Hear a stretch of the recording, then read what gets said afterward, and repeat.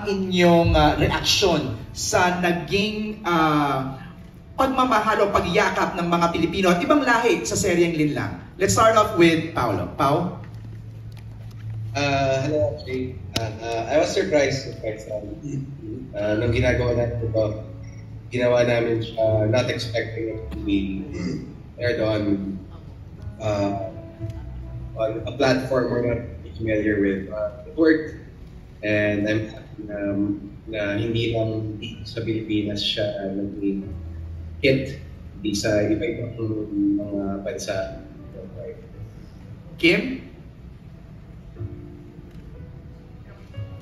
Ayan, hello!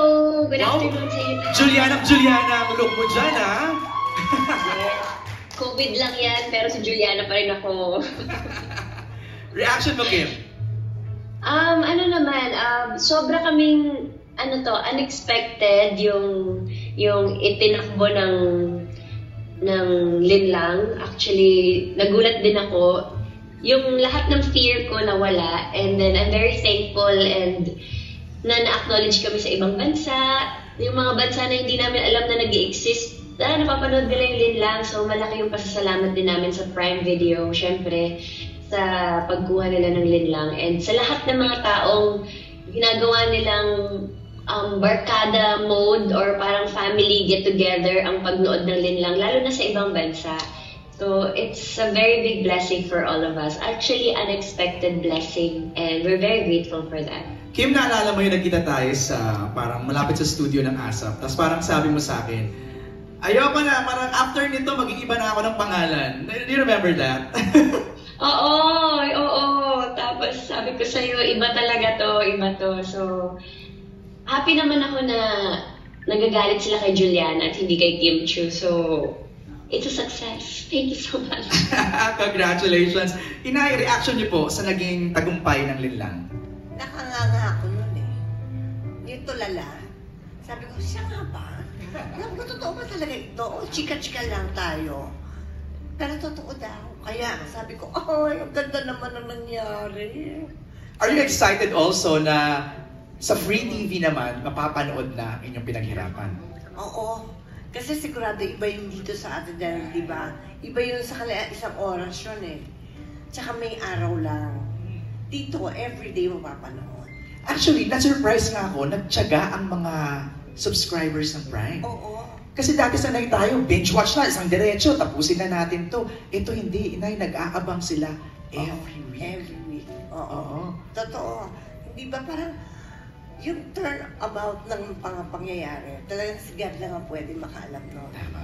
Kaya gulatan factor nung nangyari sa amin. Nagkagulatan siya. Direct na touch ni Inay yung hindi namin napanood pa lahat. So let's talk about that. Um, marami pa, ka, pa kami hindi pa napapanood. Um, we wrote the the creative wrote the the whole series uh, as a weekly um, uh, show. Okay. So yung storytelling noon, kung magna 30 minutes ka kada is kung kada araw, so that's roughly around two two and a half hours. Okay. Isang buong script na ganyan kakapal. And when we presented it to Amazon, they just asked for an hour of an episode and 14 episodes of that. So you can just imagine roughly 60% of the original story hindi Nawala. pa napapanood. Oh, wow! Kaya iba, iba yung experience. You know, um, um, it's gonna be a lesson on structure and storytelling. For you, as a director and also the... No, for for for, for everybody. For the everybody. viewers na. Kasi while you say it's very successful in Amazon, yun kasing structure noon one hour. Yes. Oo, kaya hindi ka tinigilan. Yes. Now, if you have a, a 30-minute show, which is roughly less than actually 22 minutes per day, iba din yung experience. Tama. So now, you will observe what holds your attention, how how the actors will fare in in this kind of time. Kasi di ba, the time is important in storytelling. Eh. So Mhm. makita mo. But but the happier thought is that 60% yung hindi ka nakikita. Direk Jojo, tama yung sinabi ni Direk FMM. So ngayon, pag nung pinapanood ko kasi siya, ang bilis. So parang ako din, may mga elements ako na parang, wait, wait, wait, bakit naging ganon? So bubuksan niya yun. Yes, um, merong explanation tsaka backstory yung ibang mga eksena. Kung paano mo ano, ah, yung pala yun kaya napunta doon yung eksena na yun. Okay. Yung, iba rin kasi yung editing style ng free TV sa Prime. Sa Prime. So yung storytelling may iba rin. I mean yung style. Right, right. Danica, what worked? Um, feeling namin yung relatability. Kasi real, real sila ng mga tao. So, kahit si Juliana, kahit gusto mo siyang sampalin pag nakasalubong mo siya, kahit pa paano maiintindihan mo bakit bakit niya nagawa yung mga bagay-bagay. So, feeling ko, yung audience kasi, ano naman sila, very, um, very understanding. Yung parang, hindi dahil inaano mo yung affair, but because parang, naano nila na totoong tao to na nagkakamali. Actually, for all the characters, yun yung trinay namin i-achieve. Actually, feeling ko ma-achieve natin yan pag pinanood natin tong teleserye version. Kasi nga, mas maiintindihan. Kasi ako hindi ko talaga maintindihan si Juliana dito. Talagang ano eh, ang gigil ko rin talaga sa kanya. Ibang level din eh. Kim, you agree na yung iyong karakter ay mas mahihimay dito sa teleserye version? Yes, mas maiintindihan na nila dito si Juliana fully kung saan siya nanggaling and kung bakit ganun yung reaction niya and kung bakit ganun niya kamahal si Alex and kung bakit ganun yung trato niya kay Victor. Actually, dito sa teleserye ver- version, sobrang excited ako dahil mas may papaliwanag ni Juliana yung sarili niya sa lahat ng mga may galit sa kanya. At talaga, magpapaliwanag ka pa ha? Magpapaliwanag siya in, in some ways. mag-e-emote, mag-e-emote, inay. Paolo, ikaw naman as Victor, sa tingin mo, kasi ako, nainis ako kay Paolo dito sa karakter niya eh. Ba't parang ayaw pa rin niyang bumitaw? Yun na nga hinihingi ni Juliana sa kanya, no? Pakawalan mo na ako. So dito, Pao, mas maiintindihan ka namin as Victor.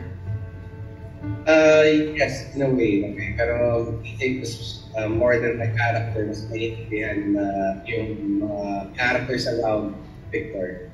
Pero makwento ka Victor and Jay. Kanina nung pinagkwento ni Kim na ano, mas may um, mas maiintindihan kung bakit mahal na mahal niya si Alex. Parang biglang umingit ko ko parang naalala ko yung lahat. parang hindi pa ako nakakamukha masyado sa dito. Di ba hanggang ngayon, no? Victor, no? Alex pa din ang uh, bukang bibig ni Juliana. Teka nga, ba't mga wala kayong dalawa dito?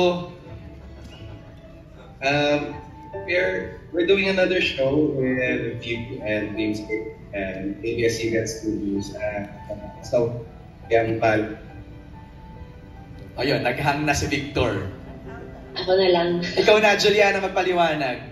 Ano, nag, ah, buhay pa rin po ang COVID, kaya tinamaan po kaming dalawa. Gusto nga namin makasama kayo lahat dyan, pero ito na yung kaya namin. Sabay talaga kayo, ha? Oo. okay. Um, pag-usapan natin yung mga scenes na medyo nag-viral at pinag-usapan nila. Ah, inay yung mga pananampal mo naman kay Kim talaga. Lalo yung line mo na gusto mo bang kausapin ako, kausapin ka ng palad ko. Anong masasabi mo sa videong ito? Tara, pag-usapan natin yan sa comment section. And also subscribe and click the notification bell para maging updated sa mga showbiz happenings.